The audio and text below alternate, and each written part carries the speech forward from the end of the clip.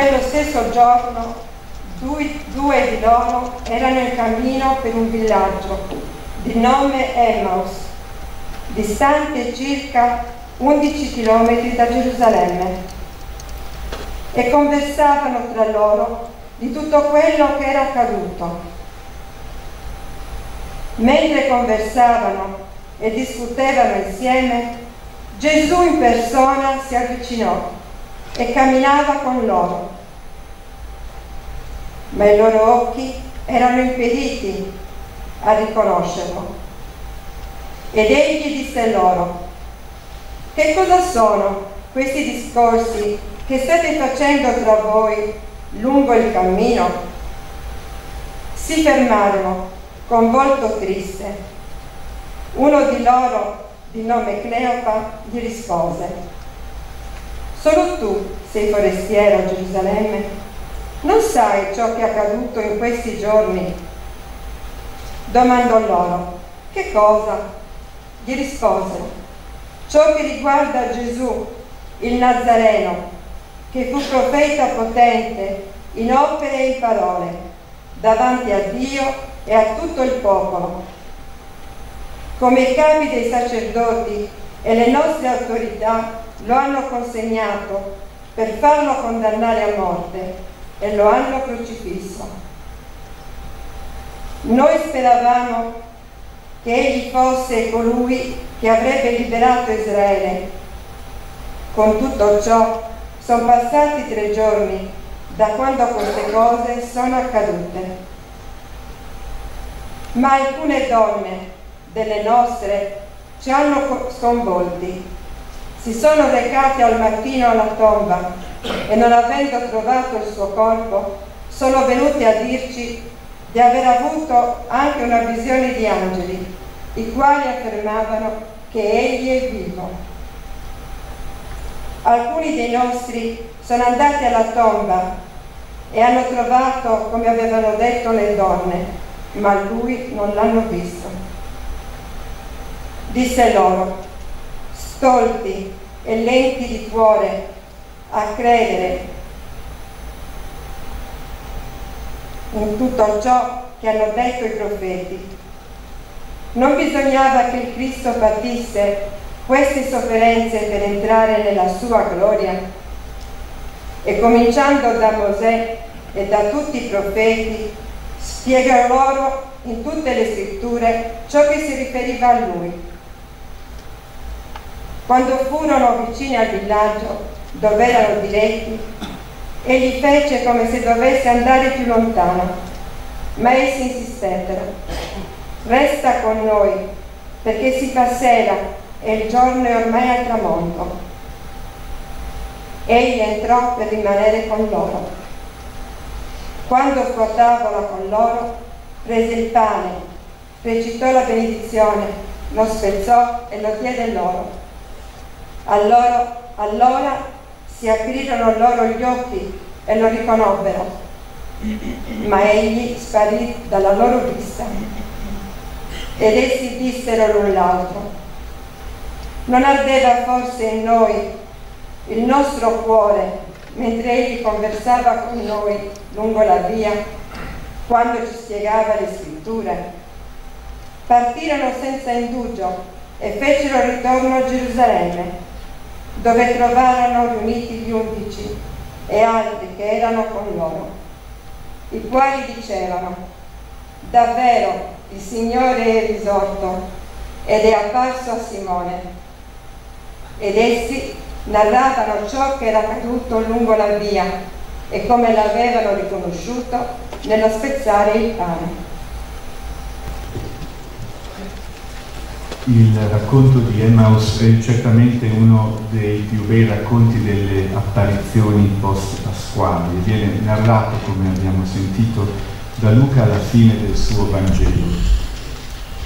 Il taglio che darò a questa meditazione è che vuole centrare sul tema delle periferie e con la parola chiave forestiero, è dunque diverso da quello che ha trattato da par suo in un bellissimo intervento tenuto ai diaconi della campagna nel marzo di quest'anno dal cardinale presidente della CEI Gualtiero Bassetti, parlando del diacono, della sua missione nella Chiesa e confrontando la diaconia proprio con questa pagina che abbiamo appena sentito ed è stata pubblicata nel numero 215 della rivista del diaconato in Italia.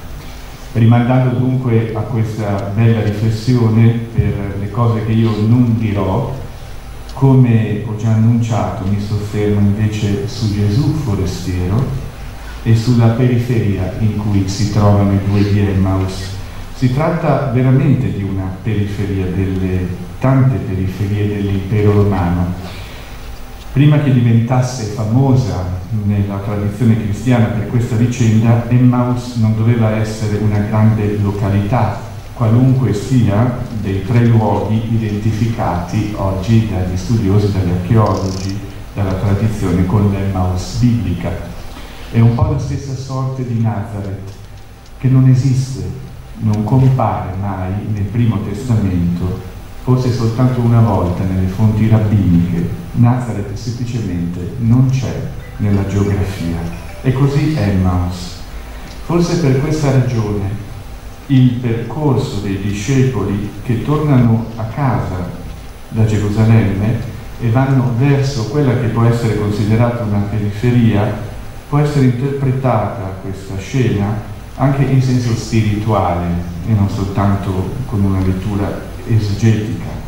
In una interpretazione esistenziale il percorso verso Emmaus è proprio quello della vita presa dal circuito della delusione, ma che è il pellegrinaggio di tutti i giorni, dice il versetto 13, in quel giorno, fatto di progetti, cioè l'arrivare a una destinazione, di fatiche, il dover percorrere questa dozzina di chilometri, di tristezze, col volto triste, scrive Luca al versetto 17, di pause, ripensamenti, come quello di cui si parla ancora nello stesso versetto, si fermarono. È il cammino della routine quotidiana, un giorno come un altro, una strada come un'altra, lontana da Gerusalemme, il normale pendolarismo, ancora un'altra delusione. Stando al brano, infatti, tutto accade nell'assoluta ferialità. Non ci deve sfuggire questo elemento che noi cristiani facciamo fatica a cogliere. Luca scrive all'inizio di questo capitolo 24, in cui si trova la pagina, che tutto accade il primo giorno della settimana.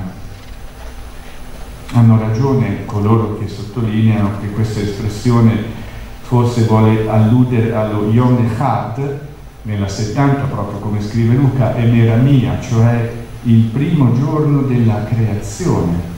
C'è un riferimento a qualcosa di più grande che è il racconto dell'inizio. Ma nel computo della settimana giudaica, per chi sentiva questa espressione, si capiva che era il giorno dopo il sabato, cioè in rapporto alla loro settimana, alla nostra, un semplice lunedì il primo giorno della settimana è il giorno feriale in assoluto, il giorno dopo il sabato, quello al ritorno della vita di tutti i giorni.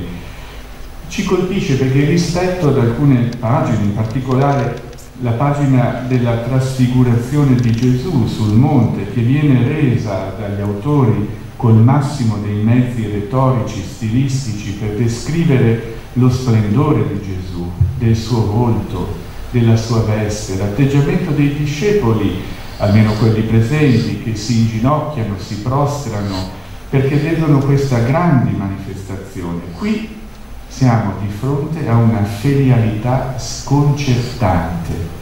Il risorto si mostra, è lui e non viene riconosciuto. E la seconda pagina dicevamo ieri, delle tre che commentiamo, dove avviene la vera e propria anagnosis, cioè l'agnizione, che scopriamo non è solo uno strumento retorico di cui parla Aristotele nella poetica.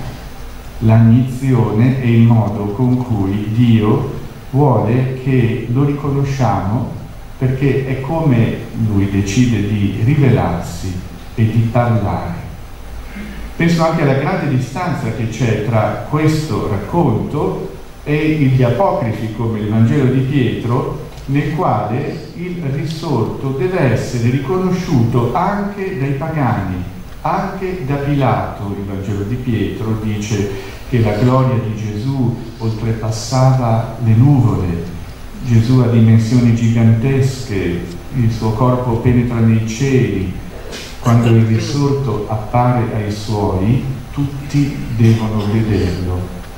Invece, nei Vangeli canonici, quando il risorto ritorna, o non è riconosciuto, o è scambiato per qualcun altro.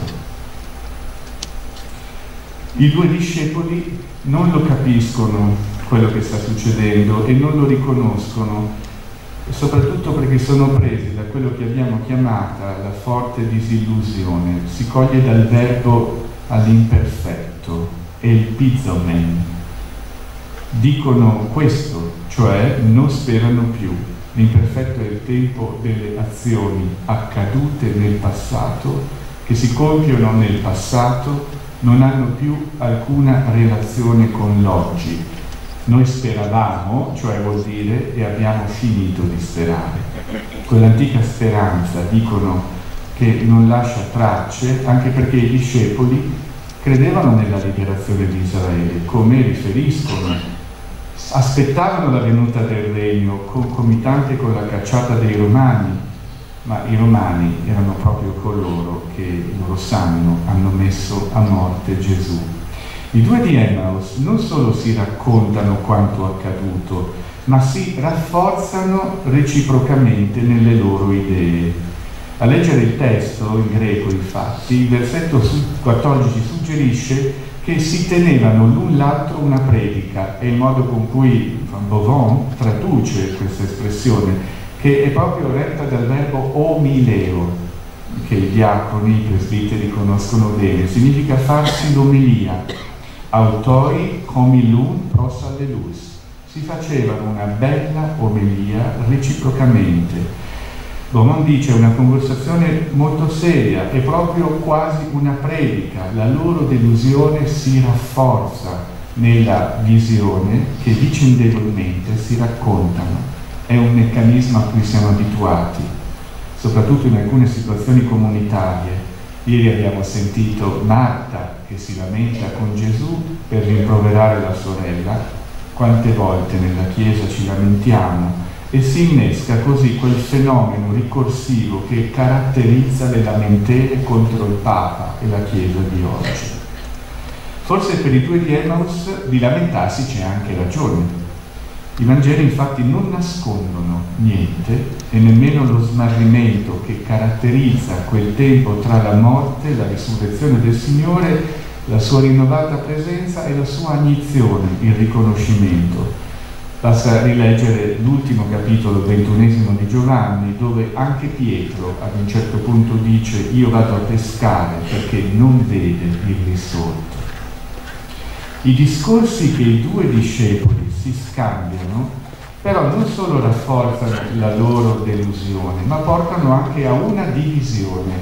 Alcuni hanno notato proprio e commentato il significato del verbo antiballo al versetto 17, con il quale questa volta è Gesù che descrive il loro comportamento. Antiballo non significa solo discutere in greco, ma il suo primo significato è proprio lanciare contro, disputare, controbattere. I due stanno litigando. Che cosa succede? Cosa fare quando c'è un segno così evidente della crisi, della delusione? La salvezza viene dallo straniero e nelle periferie. È un processo a cui ci abituano i Vangeli e ci vogliono educare, in particolare attraverso i due segni importanti che si trovano nei racconti delle apparizioni del risorto. Il primo è la tomba vuota. Anche il Catechismo universale dice il primo elemento che si incontra nei racconti di Pasqua è la tomba vuota. Senza la tomba vuota null'altro ha senso. Ma questa non basta. È necessario infatti che ci siano gli angeli ermeneuti, gli interpreti, sono questi che hanno la capacità di riferire un'altra versione rispetto a quella che per esempio mh, si fornisce Maria, che si dà una spiegazione, hanno portato via il Signore, o che si trova nella finale di Matteo e che viene data dai politici, dai soldati, e cioè i discepoli hanno rubato il cadavere.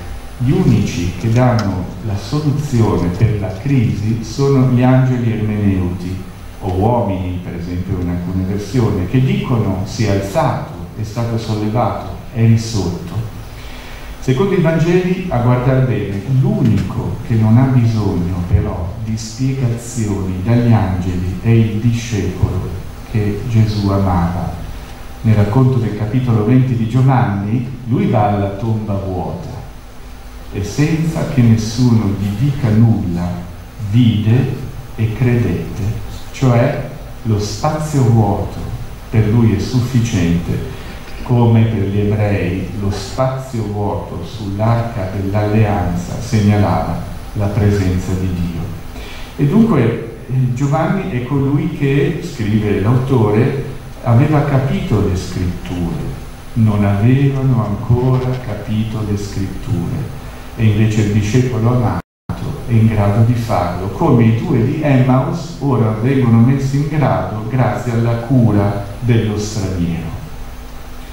Per uscire dalla crisi la metodologia di Gesù è molto chiara, si sviluppa in questi passaggi.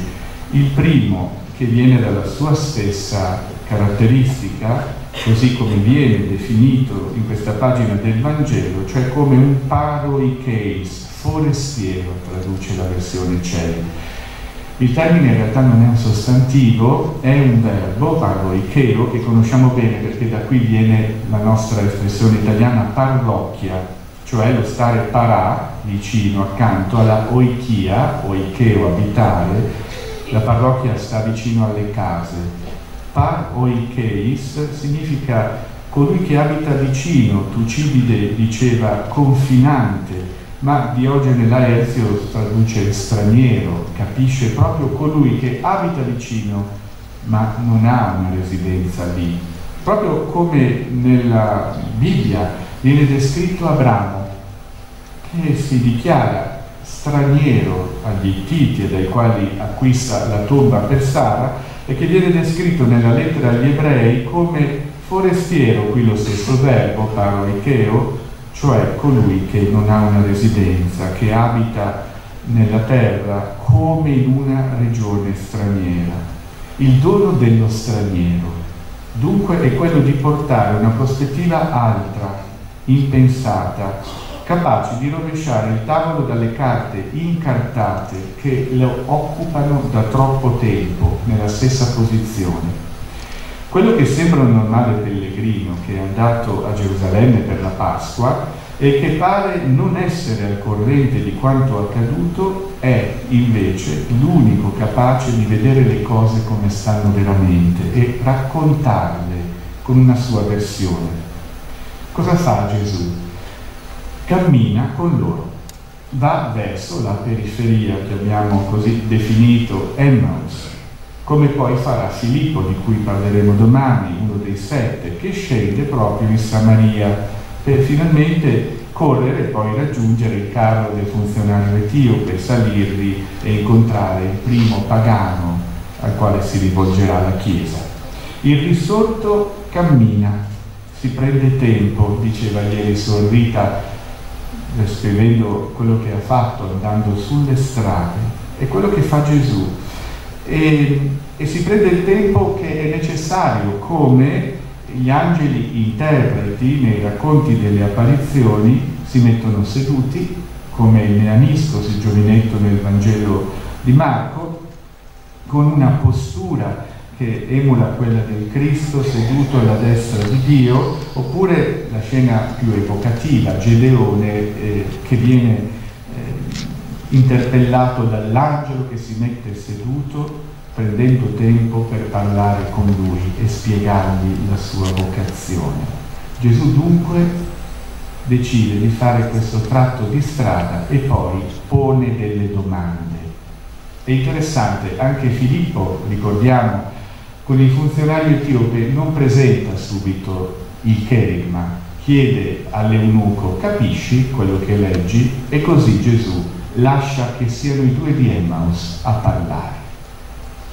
Se ieri abbiamo descritto una pagina nella quale Gesù viene ascoltato e abbiamo detto che la prima carità è quella della diaconia dell'ascolto, qui Gesù la compie per primo. Gesù ascolta, si fa raccontare la storia e con pazienza la elabora e non dà subito la soluzione e, questo è interessante, non nega nemmeno quello che i due stanno dicendo, impossibile, è davvero morto, è vero, è stata una sconfitta. Pone delle domande, quindi, dà loro credito, ed è quello che succede spesso nei Vangeli, quando Gesù lascia parlare l'altro, come il nomicos, il dottore della legge, a cui chiede che cosa sta scritto nella legge, come leggi tu. È un investimento di fiducia con il quale si ascolta l'opinione dell'altro, anche se poi si scopre è molto differente dalla tua. Ed ecco che però Gesù ora interviene, ha ascoltato la loro versione e ora li rimprovera come ieri abbiamo sentito, ha educato Marta rimproverandola. In gioco non c'è tanto il fatto che non l'abbiano ancora riconosciuto, ma la loro incapacità di comprendere le scritture. È quello che dice Gesù. I due di Emmaus sono proprio come Marta e per questo vengono educati, perché sono anoetoi, cioè senza intelligenza, bradeis, cioè lenti nel capire e nel credere alle scritture, perché hanno mancato di esercitare non solo la fede ma anche l'intelligenza. Non è solo una questione di fede, ma c'è anche il nus, la testa, l'intelligenza di mezzo. Ed ecco il penultimo passaggio, Gesù finalmente ora tiene lui la sua omelia, o meglio spiega, il verbo è quello dell'ermeneutica, la spiegazione, l'interpretazione dice Luca, di Ermeneusen, cioè interpretò. Che cosa fa il forestiero? Cosa fa uno che viene da fuori, dalla sua interpretazione? A fronte dell'omelia che i due si erano fatti, Gesù intreccia un vero e proprio sermone che ha delle caratteristiche importanti. Addirittura un esegeta sostiene che questo sia la conclusione del capitolo quarto del Vangelo di Luca, cioè quello che dice di Gesù che nella sinagoga di Nazareth tiene la più breve omelia della storia, solo nove parole nella lingua greca, oggi per voi che le avete udite si sono compiute queste parole, e questa omelia che è così breve in realtà finisce qui, l'interpretazione dello straniero che è un'interpretazione che sblocca quei sentieri interrotti che ci tornano alla mente quando pensiamo a quello che scriveva un filosofo, Martin Heidegger, che conosceva la foresta nera dove lavorava e scriveva legnaioli, guardaboschi conoscono bene i sentieri interrotti. Sanno che cosa significhi trovarsi in un sentiero che interrompendo si svia, finisce lì il rischio della Chiesa, di molti discepoli, di noi, è quello di perdersi in strade che non portano nulla, in pensieri che si ripetono, in loop che sono sempre gli stessi. E Gesù sblocca questa tentazione con la sua parola e dà un'altra interpretazione. Non possiamo soffermarci su questo aspetto, quello che conta è che Gesù, senza negare nulla di quello che dicono i due di Emmaus e senza negare nulla della Bibbia, offre un'altra versione, è un'altra storia che è corretta perché mancava la conclusione a quella che i due discepoli si raccontavano ed è la tipica lettura cristiana, quella che aggiunge qualcosa senza togliere nulla al primo testamento. Gesù aggiunge quello che nelle profezie non si trovava così chiaramente e che può essere compreso solo alla luce della sua risurrezione. E dopo aver dato la sua interpretazione, infine Gesù spezza il pane per loro. Ecco, è il gesto della Berakah con il quale viene riconosciuto perché evidentemente i discepoli erano abituati a vederlo.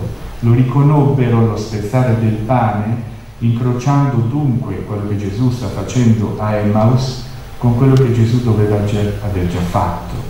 E la memoria, scrive Aristotele della sua poetica, che la anagnorisis, la avviene attraverso il ricordo, dia manenes, si capiscono le cose quando grazie al ricordo tutto allora si lega, tutto torna alla superficie, come quando Aristotele racconta proprio Ulisse che viene riconosciuto perché piange quando Alcino, il re eh, che lo ospita nella sua isola, vede lui disperarsi tra i singhiozzi mentre viene raccontata la storia del grande Odisseo.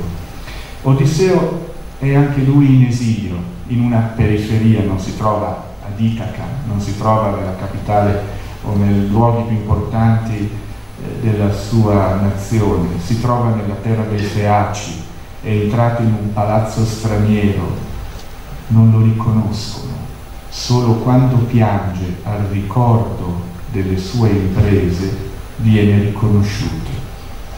Nella cena di Emmaus Gesù compie un gesto ed è riconosciuto perché eh, aveva fatto però un tratto di strada con i discepoli. Forse per riconoscere Gesù, dice la pagina che stiamo commentando, è necessario fare un tratto di strada con lo straniero, farlo entrare nella propria casa, nessuno dice che sia un albergo, non è scritto, sedersi con lui alla tavola. E la conclusione della pagina è bellissima il ministero dei due di Emmaus che scaturisce da questa periferia viene portato a Gerusalemme. Come dice Papa Francesco, la periferia è diventata il centro. Quella località mai nominata come Nazareth diventa il centro dell'incontro e dalla periferia si può ripartire. Certo, Emmaus non è Gerusalemme, ma si può di nuovo andare lì, come abbiamo ascoltato e quindi a Gerusalemme raccontare quello che è accaduto.